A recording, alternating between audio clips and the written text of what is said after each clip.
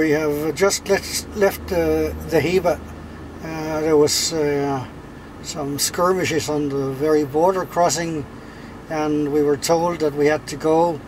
One bomb apparently struck somewhere in Dahiba town itself. We could clearly hear the impact of the of the bomb or the missile, whatever it was, hitting ground in Dahiba.